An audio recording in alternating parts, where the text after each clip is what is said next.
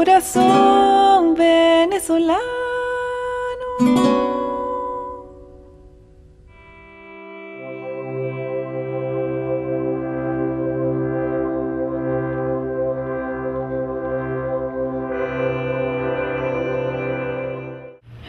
Bueno, obviamente pues uno tiene conocimiento general, pero realmente fue un reto montar esta ponencia porque tuve que acudir a los colegas de HIV SIDA eh, en, ese, en ese ejercicio horizontal que hacemos hacia adentro para poder tener información de fresca y poder tener una información clara y contundente.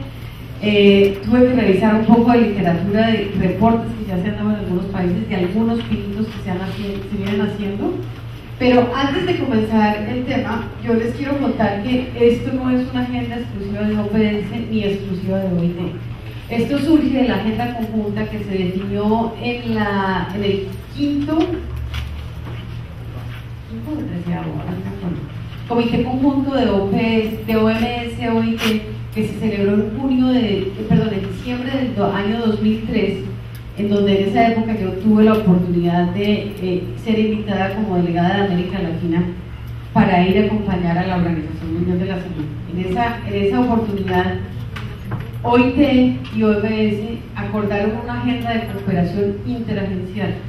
Y dentro de los temas que se acordaron y que se comenzaron a trabajar desde entonces está el HIV, SIDA, está la silicosis, está el cáncer ocupacional, está la violencia en el lugar de trabajo, eh, no me acuerdo pero esos cuatro porque sé que hemos venido trabajándolos conjuntamente, de manera que Parte de lo que yo les voy a presentar aquí también se recoge de las recomendaciones y los repertorios de la OIT, porque es un trabajo conjunto. Indudablemente, el enfoque general de lo que es el HIV-Sida eh, y, el, y el manejo de la pandemia lo voy a ir haciendo aún más que la OMS o Lucía, como ustedes bien lo saben, pero las directrices en cuanto al manejo y el comportamiento y las aproximaciones y todo esto se viene haciendo en armonía. Eh, eh, también tiene su codependencia con la OMS. Así que eh, vamos a hacer un barrido inicialmente del estado de la epidemia, luego vamos a mirar los mandatos que hay en función de salud de los trabajadores y después vamos a mirar algunas de esas experiencias de las cosas que se han hecho en algunos pedidos de lo que yo encontré y después sí voy a invitar a Carmela para que nos cuente haciendo la ciencia. Bueno, muy bien, me das la primera por favor. Entonces, eh, quiero agradecerle al doctor Rafael Masil, él es nuestro asesor en HIV-Sida y fue el que me facilitó mucha esta información y de los vínculos que me puso a explorar y a estudiar y que fue una experiencia muy inteligente, muy interesante. Pero aquí se me olvidó poner, no, Carlos Aníbal no fue para esta charla, fue el, la, la, contraparte de eh, HIV porque se me olvidó el nombre de ella, no la puse se volvió al final ponerla, pero eh, ella viene trabajando con nosotras, con Susan Wilbur en la OMS, eh, precisamente, ¿te acuerdas del nombre? La niña de la OIT. Bueno, con ella, con ella fue que empezamos a hacer todos estos protocolos conjuntos y por el tipo de trabajo, pero bueno, ahí, yo después con el eh, la siguiente como les dije, vamos a hablar eh, de lo que es la epidemia en América Latina. Dame la siguiente, por favor. Este es el primer escenario que les quiero mostrar eh, del comportamiento del HIV en adultos y niños estimados que viven con HIV. No, aquí no hay muertos, estos son los estimados vivos con infección de HIV alrededor del mundo para el año 2000. Estábamos hablando de una, media de 33.2 millones de personas entre 30 a 36 mil, en donde ustedes ven que no hay una sola zona del mundo que la esté contaminando. ¿Se acuerdan cuando comenzó la epidemia? No puedo ¿Ah? ¿Quién se acuerda? 80 En el 82. Cuando la, cuando la gente salía corriendo de las salas de, de, cuidados intensivos y las enfermeras no estar, porque fue una época de pánico. Los que vivimos eso en los hospitales fue realmente, realmente miedoso. Así era, así era. Y en esa época, cuando eh, eh, estábamos en los hospitales de combate, yo atendí yo no sé cuántos partos a mano limpia y su autoridad a mano limpia Y por eso yo cada cinco años me hago mi ventanita inmunológica por si las playas. Bueno, muy bien, pero lo que quería mostrarles es que el panorama de contagio está. Es decir, y ahorita salió un artículo muy lindo que dice, no se crean, está, todo el mundo guarda silencio, pero la pandemia no se acaba. Y ese, ese tal vez el primero y el más importante mensaje. Ahí está, ella está ahí, tenemos que lidiar con ella. Y el mayor riesgo lo, lo, trae no solamente los trabajadores de salud, sino todas aquellas personas que tengan comportamientos y factores de riesgo que puedan acarrear el contagio. Dame la siguiente.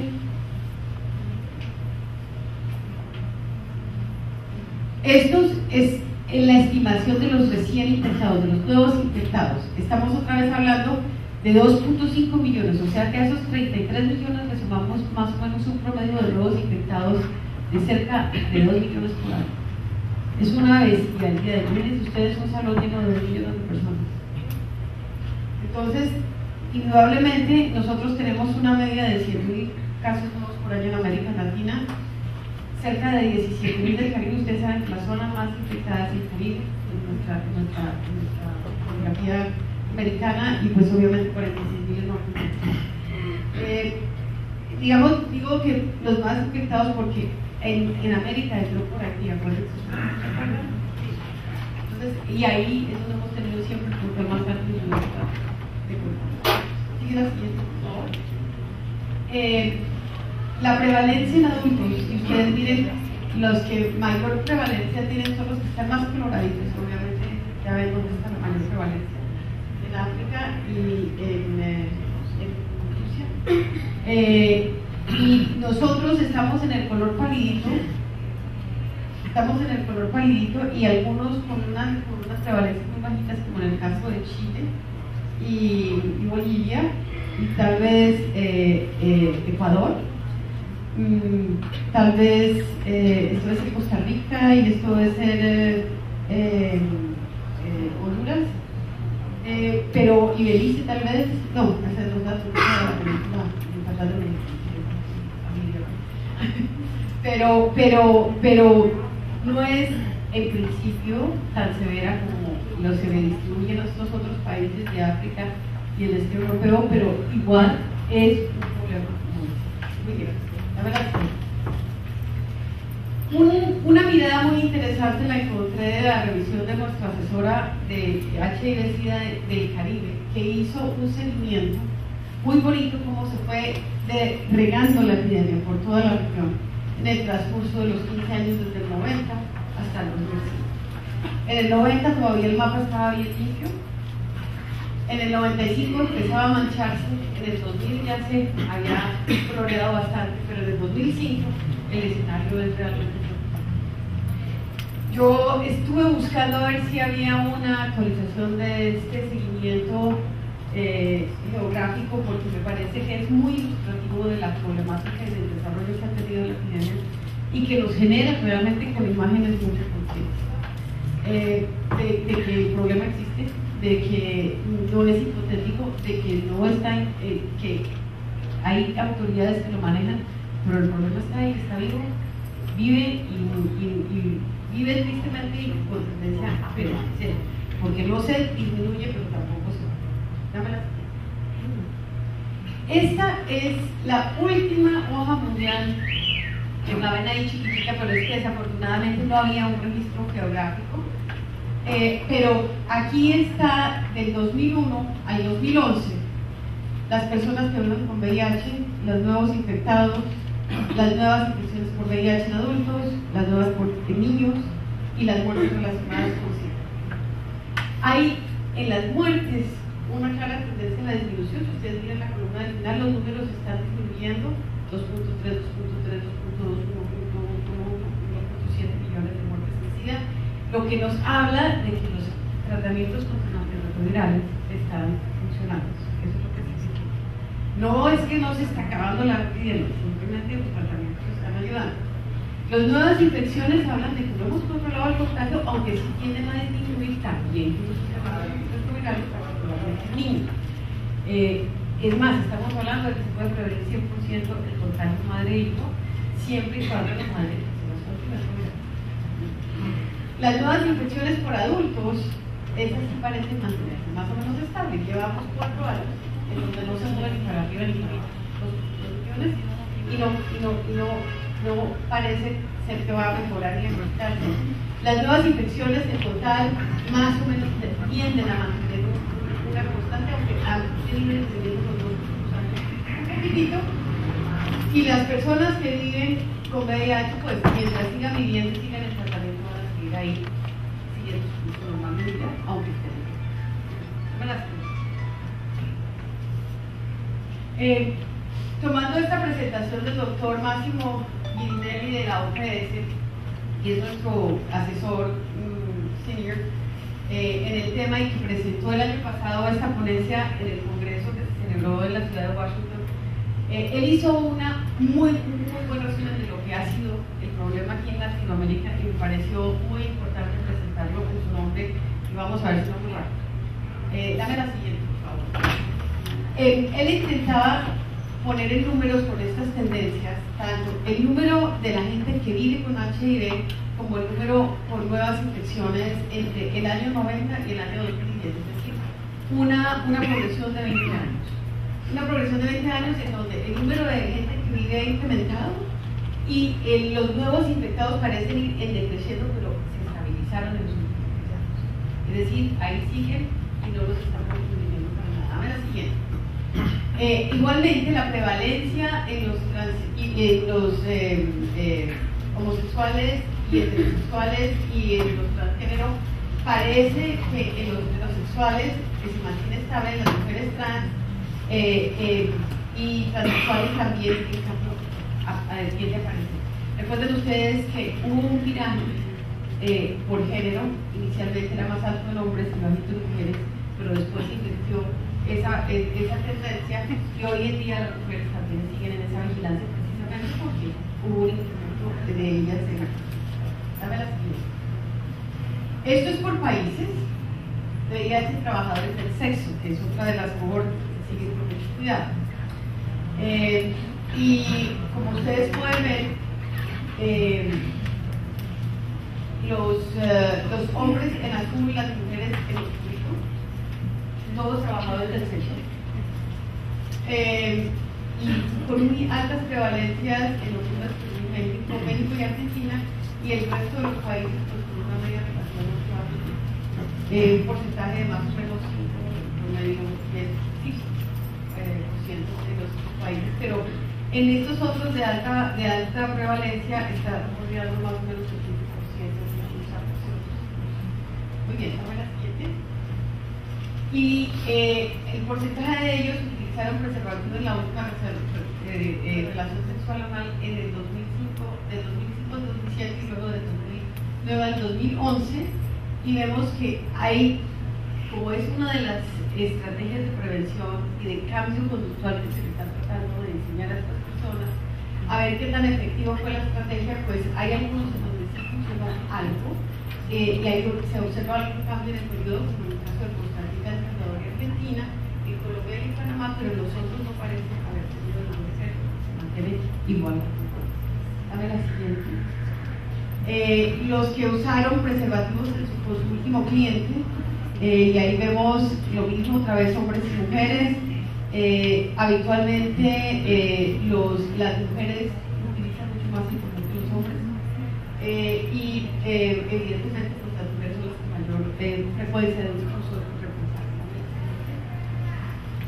En prueba y consejería no dirigida, esto es cuando se hacen pruebas al azar no se, no se, no se sin ningún objetivo específicamente y la, y la proporción de mujeres que se hicieron la prueba en el 2010 son las ustedes ven las bolitas rojas en los diferentes países eh, y allá en la, la proporción de, de, de HIV por cada eh, mil habitantes mayores de 15 años de edad, eh, en donde lograron tener una alta cobertura en algunos de los países como en Centroamérica y en Ecuador y en Chile y en Bolivia, y otros aquí a este lado, en Colombia y Honduras, donde encontraron algunos niveles de posibilidad en algunos De manera que si se hacen pruebas al azar, también se consigue encontrar.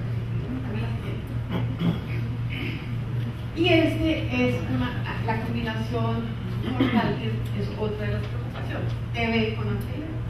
Entonces, eh, aquí ustedes ven que la prueba de en pacientes con TB para el 2010 fue de los trabajadores, eh, de, perdón, de, las, de la población, natural. Eh, de manera que es, es, es otra preocupación, otra preocupación muy grande, y es una preocupación muy grande para los trabajadores de la salud, porque hemos tenido reportes de enfermeras y auxiliares de enfermería con TB resistente. Es muy preocupante, por eso ese, ese es un punto que vale la pena destacar. Dame la siguiente. Ah. Ah, sí, perdón. Tuberculosis, perdón, gracias, sí, gracias. Estoy hablando de tuberculosis, de TB es tuberculosis.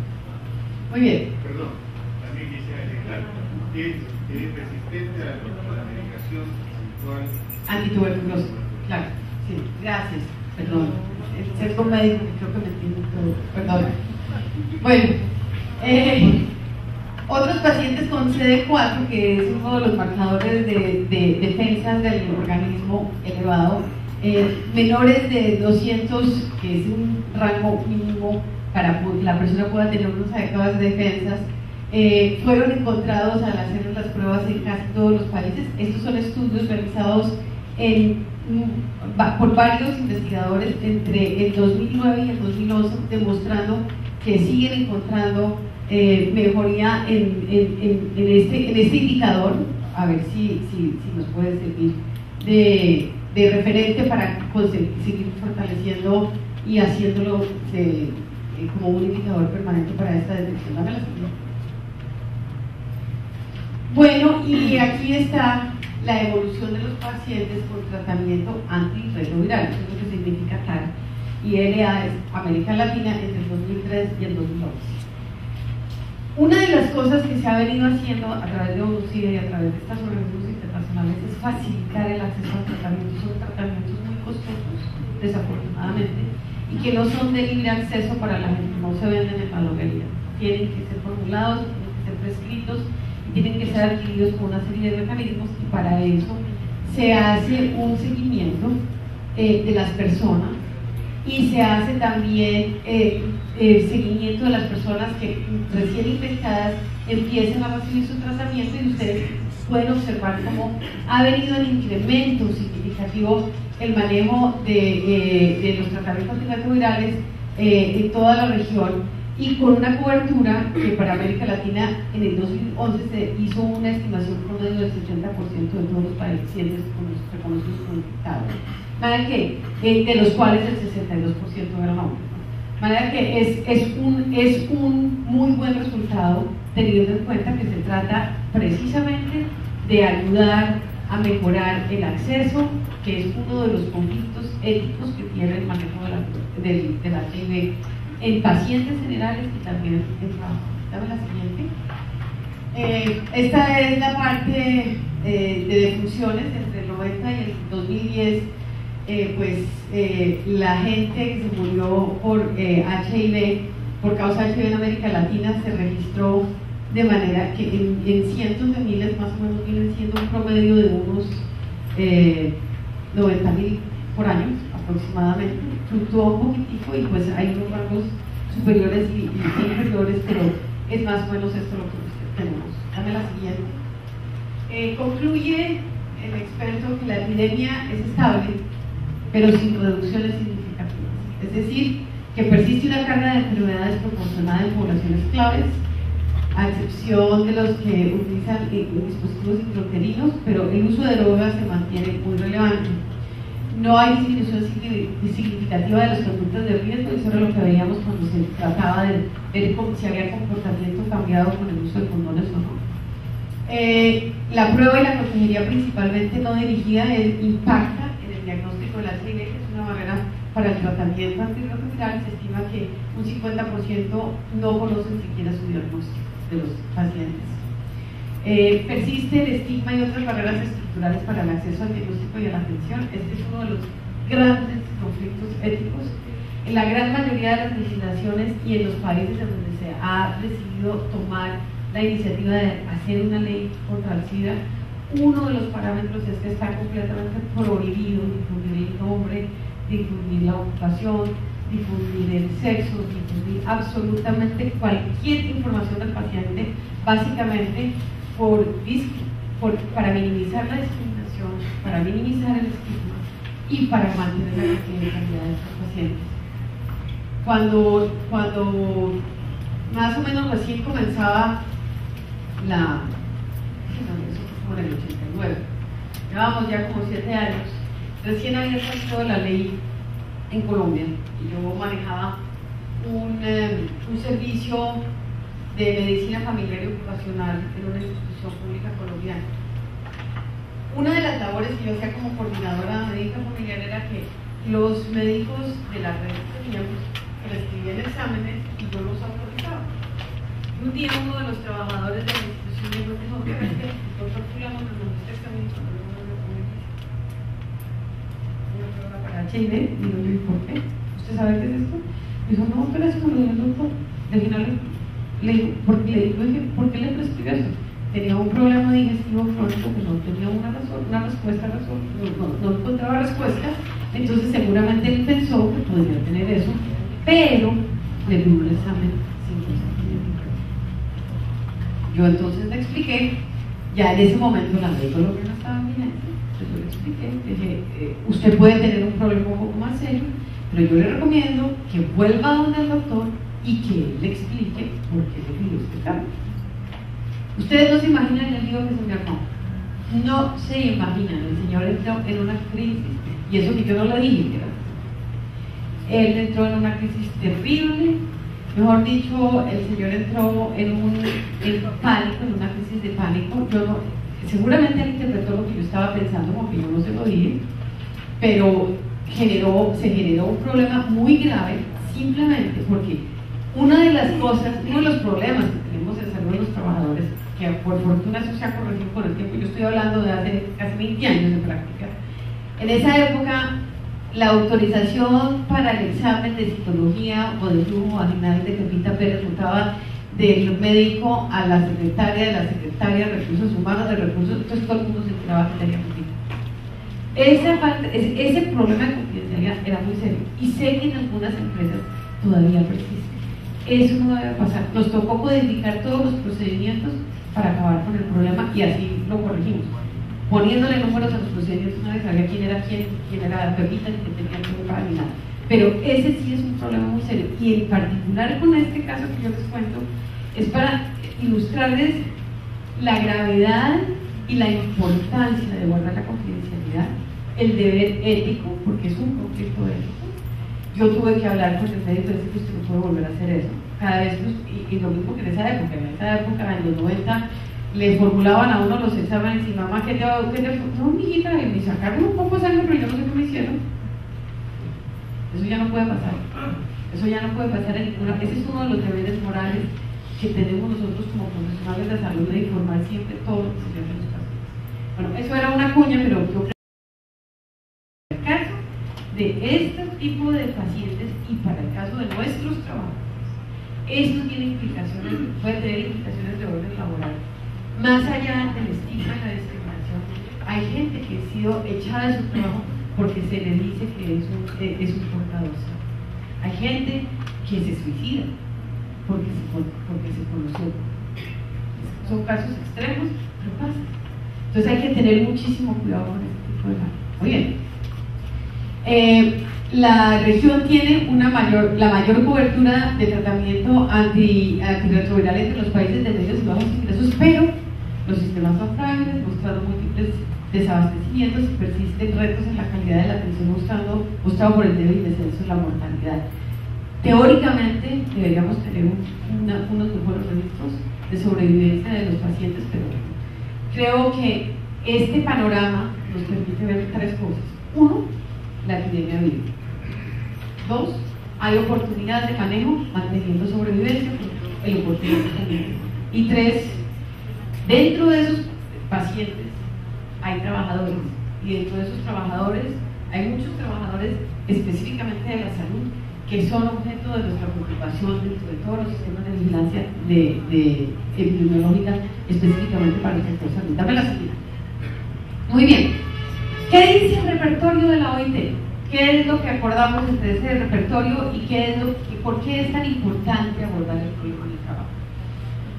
Por un lado, se quiere actuar en armonía con la respuesta nacional que cada país tenga para su problema de HIV, porque ya vemos que es un problema universal, y se quiere que se haga esa respuesta del ámbito nacional en el escenario del mundo laboral. ¿Para qué se quiere hacer eso? Precisamente porque se necesita acompañamiento, se necesita consejo. Esta es una de esas enfermedades en donde se necesita, por un lado, proteger los derechos laborales por el otro lado, darle asistencia y apoyo. Este es un problema muy duro para nosotros. Eh, y por el otro lado, hay que prevenir. Hay que hacer las tres cosas y por esa razón eh, se fundamentan las recomendaciones de la legislación nacional e internacional en las políticas nacionales e internacionales y en los programas que al interior, bien sea del país o de la empresa que esté Ahora, algunos ejemplos del impacto que tiene el HIV. se preveía que en el 2020 hay dos países de alta prevalencia de HIV que habría ocasionado una pérdida de entre 10 al 30% de la fuerza de trabajo. son estimaciones salvajes. Eh, en un tercio de las familias rurales afectadas por VIH-Sida en Tailandia se ha registrado un 50% de reducción en la producción agrícola. Es decir, son impactos reales, no, no son hipotéticos. Eh, un estudio realizado por el Banco Mundial indica que cuando la prevalencia de HIV en un país alcanza el 5%, la repercusión de la epidemia puede ser suficiente para causar cadenas de producción Es decir, que se afecta la producción por, el problema de De acuerdo con estimaciones, entre 24 y 25 millones de participantes de la fuerza laboral con edades entre 15 y 64 años viven con VIH-Sida en el mundo para el 2005. De estos, 41% son mujeres que es un poco el escenario que mostré en los mapas, pero que, se pone ahora en situación prosa. Y en Asia se explica eh, que por el, VIH en el 8% del crecimiento perdieron el empleo, y en América Latina y el Caribe más o menos el 7%, y en África el 80%. Entonces, vieron el problema en África, en los mapas, muy bien, dame la siguiente. ¿Cuáles son las repercusiones para los empleadores en la perspectiva general?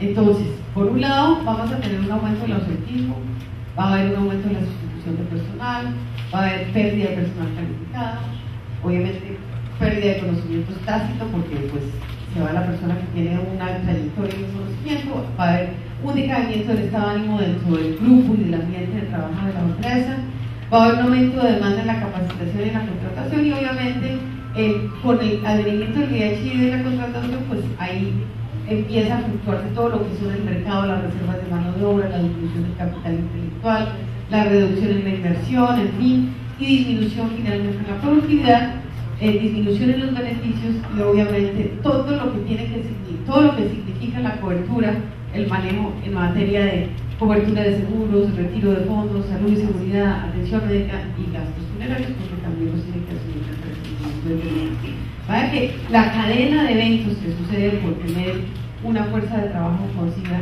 es una, tiene un impacto real, es un impacto.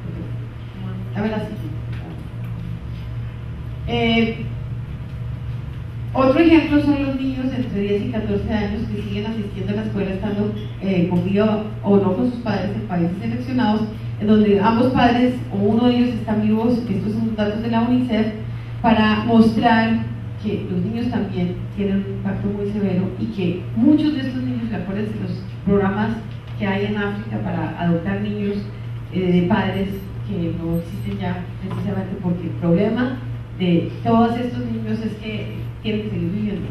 No es el problema, digo, el problema es que la sociedad los tiene que asumir. Siguiente. Eh, esta es la proporción acumulativa de hombres y mujeres trabajadores eh, que de la fuerza de trabajo en Haití, eh, Lesoto y Zimbabue entre el 90 y el 2015. Y ustedes tienen aquí, estas son las mujeres de Lesoto, las que voy a señalar aquí, en donde vienen incrementando la proporción eh, de la fuerza de trabajo con HIV. Eh, los de Zimbabue son estos que llegan hasta aquí, que llegan hasta el 45%. Eh, y los de y las mujeres de Haití, Haití viene siendo esta, y Lesotho viene siendo esta, y por supuesto los que están en los cuadrados son los hombres de los tres países en donde el incremento de la epidemia es significativamente alto. Eso significa que para finales del 2020 la fuerza de trabajo de estos tres países va a verse formada por hombres y mujeres que faltaron con el virus. Dame la siguiente. Bueno, ya dijimos un poco de la reducción de la infección de la gente nueva y básicamente eh, manejando esos, eh, algunos escenarios eh, a partir de esta publicación de la OPS, donde las estimaciones para el año 2015 esperan que con base en los tratamientos y con base en las estrategias que se están desarrollando, se pueda llegar efectivamente a bajar de la línea de base que es esta, aquí arriba, y llegar a, a unos focos de optimista medianamente el escenario y el mínimo al que se aspira para poder tener una meta concreta en términos de resultados en materia de prevención y tratamiento para enfermedades. Entonces, eh, otro, otro dato importante son los costos, los costos organizacionales y los costos individuales para un trabajador y para una empresa. Entonces, los costos directos para, eh, a nivel individual son el cuidado médico, el pago de beneficios, su muerte, su funeral, el reclutamiento y entrenamiento del, trabajador que tiene que reemplazar. Y los costos indirectos se, se ven en todo, su productividad reducida por ausentismo y por enfermedad, el tiempo de los supervisores frente a las pérdidas de productividad, el costo de los reemplazos, que todos afectan, y, como sumas, se suman como directos e indirectos, afectando las finanzas de ambos, eh, en este caso del individuo y su familia. Y para la organización, pues las primas de seguros, agentes relacionados con la enfermedad o la inexperiencia, los costes completos, el tiempo de la administración superior, las interrupciones en la producción, la moral y la motivación deprimidas, esos son factores muy importantes que hoy evaluamos en las encuestas de equidad y bienestar. Eh, las pérdidas de trabajadores experimentados, la atención en las relaciones de trabajo, realmente es un problema que impacta trabajador y empresa y que hay que tenerlo cuidado. Y por eso, todos estos ejercicios que se han sacado, el manual sobre VIH para empleadores, vías para la acción, las directrices mixtas de la OIT y la OMS sobre los servicios de salud y VIH el repertorio de recomendaciones de la, de la eh, OIT y el mundo del trabajo, y todo lo que es los estimativos globales y el impacto en todas las poblaciones que se hacen desde la OMS y UNCIDA son documentos con los cuales nos debemos familiarizar. Ustedes entran a la página de UNCIDA, ustedes entran a la página de la OMS e inmediatamente tienen todos estos datos que se acabamos. Es cuestión de que nosotros nos sensibilicemos, nos pongamos al día, mantengamos al día con esto, porque realmente hay muchas cosas en las cuales uno tiene que mantenerse al día, pero esto que es una epidemia viva es un problema muy fácil. No sé si ustedes se dieron cuenta que en la semana antepasada hubo un brote de un eh, H7B, ¿no? ¿Sí, la, sí se dieron cuenta. Este fue de emergencia que por fortuna no fue un error, no fue, no fue más un susto. Pero ese tipo de cosas son las que nos tienen que mantener en el no pueden causar muchos problemas, especialmente para muy bien, entonces, ¿qué dice el repertorio de recomendaciones? El objetivo es establecer directrices para hacer frente a la epidemia en el mundo del trabajo y se enmarca en la labor de promoción del trabajo decente, del trabajo seguro. Acuérdense que es el programa de trabajo seguro. Abarca las siguientes esferas, la prevención del SIDA, la gestión y la atención de los efectos en el mundo del trabajo, la prestación de asistencia y de apoyo al trabajo infectado, y la erradicación al rechazo y la discriminación contra personas reales o supuestamente infectadas por acción. Esto es lo que realmente le llamamos el estigma, es un problema real, es un problema muy, es tan feo como la segregación de género que las mujeres, es tan feo como el acoso psicológico, es muy feo. entendiendo el bueno, el buen líder, el mal líder y el peor líder. Esto es muy feo. El, estigma es un, procedimiento muy humillante que todos los derechos de la persona y eh, vulnera sobre todo su autoestima y hace Entonces, esto se debe interactuar. Entonces, el repertorio dice que hay que reconocer el problema en el ámbito laboral, acabar con la discriminación, procurar la igualdad entre hombres y mujeres, procurar un ambiente sano de trabajo y procurar el diálogo social entre las personas que necesiten el diálogo y, y, y, aquí ese acompañamiento de coaching o de entrenamiento que yo mencionaba antes. la siguiente. Se debe hacer eliminación de las pruebas de detección de los defectos en el empleo, deben ser voluntarias y deben ser confidenciales y cuando tienen, la empresa no tiene por qué retenerlas, es propiedad exclusiva del paciente o del trabajador y él es el que decide qué hace con La confidencialidad es fundamental para poder tener continuidad en la relación de trabajo, para poder hacer programas de prevención y para poder dar asistencia eh, sucesiva con apoyo a la siguiente.